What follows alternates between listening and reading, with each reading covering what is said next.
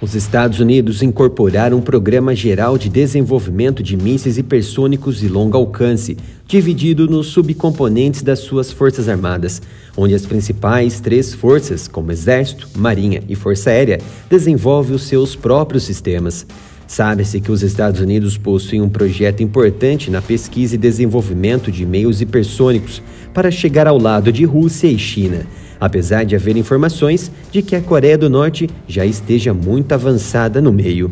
É sabido que um dos projetos americanos mais famosos e importantes neste campo é o Air Launcher Rapid Response Weapon, o ARV, a arma de resposta rápida lançada do ar AGM-183A para empregar em bombardeiros, e o projeto do míssil de cruzeiro de ataque hipersônico Haken, a ser empregado nos caças F-15X, ambos projetos da Força Aérea Americana. Já para a Força Terrestre, o Pentágono busca empregar um complexo chamado Arma Hipersônica de Longo Alcance, anteriormente usava a designação Sistema de Armas Hipersônicas, sobre o qual muitos dados interessantes surgiram recentemente.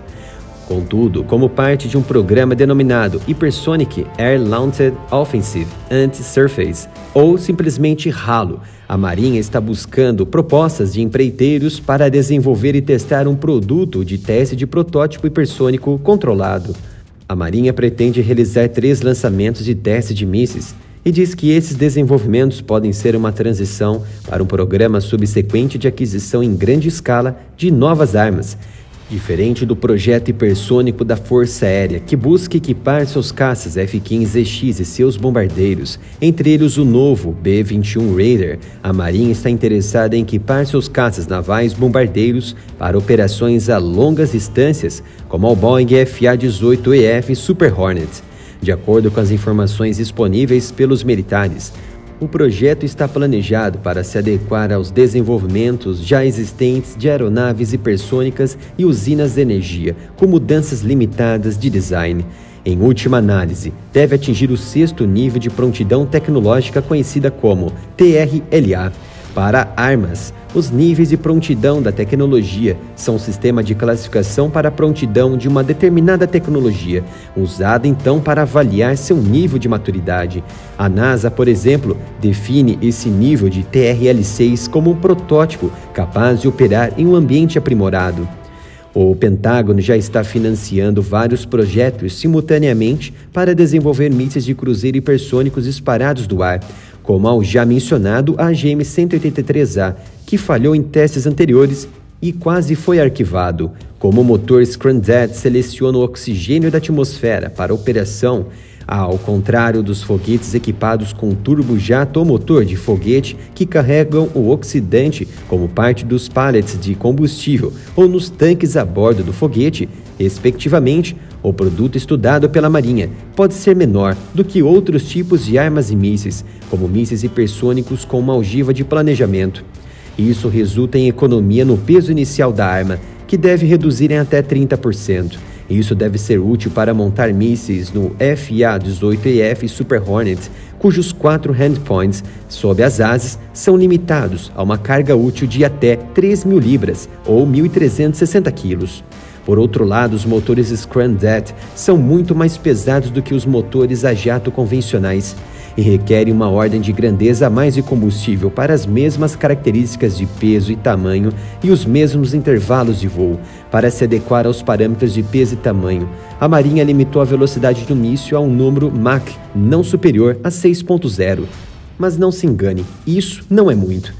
E como já sabem, temos a nossa loja virtual. Temos muitas camisetas de diversas cores, estampas, canecas, botões e até pôsteres, tudo por um preço justo. Acesse umapenca.com barra militar ou pelo link fixado nos comentários e na descrição desse vídeo. Dado que a velocidade do som durante o voo do produto a uma altitude de 50 metros acima do nível do mar é de 1.224 km por hora, Segue-se que a velocidade de cruzeiro do novo projeto deve ser acima disso. O míssil Halo só é capaz de atingir velocidades supersônicas de Mach 3.5 a 4, e este é o limite para o programa, e velocidades hipersônicas acima de Mach 5 não são alcançáveis no momento. A velocidade planejada é então bem inferior ao do míssil russo Zircon.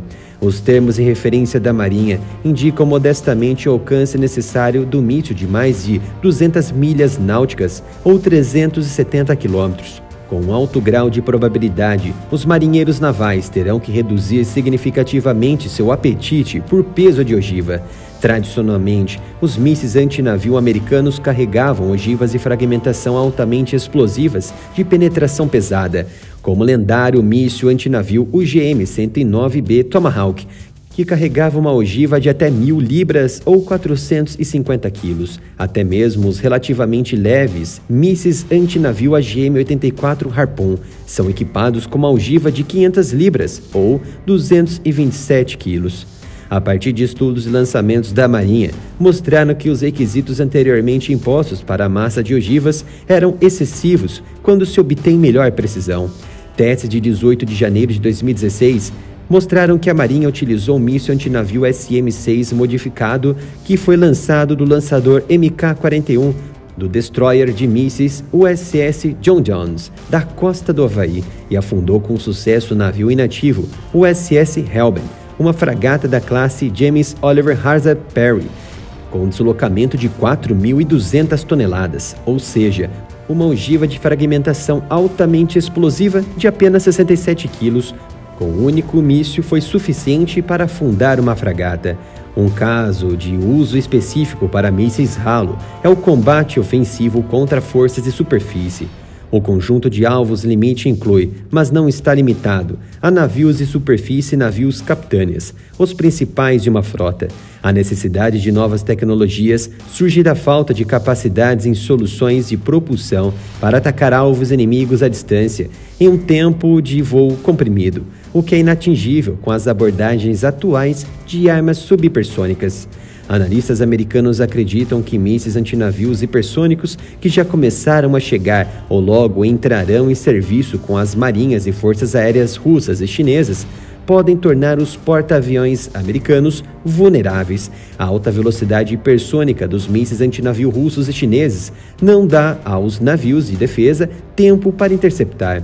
A presença a bordo de porta-aviões do Grupo Aéreo FA-18, armados com mísseis antinavio hipersônicos, poderia servir, segundo representantes da própria Marinha, como dissuasor. O míssil deve substituir, então, o míssil antinavio AGM-84 Harpoon, há muito desatualizado no arsenal dos caças bombardeiros FA-18E e F. Há muita coisa em jogo. Um país que tem armas hipersônicas à sua disposição não só poderá entregar ataques imbatíveis ao inimigo em um período de tempo extremamente curto, mas também tornará sua interceptação uma tarefa quase impossível para muitas armas antiaéreas, especialmente quando se trata de um ataque massivo. Já participa do nosso grupo de análise no Telegram? Para isso é muito fácil, basta se inscrever com o link que deixamos aqui na descrição do vídeo.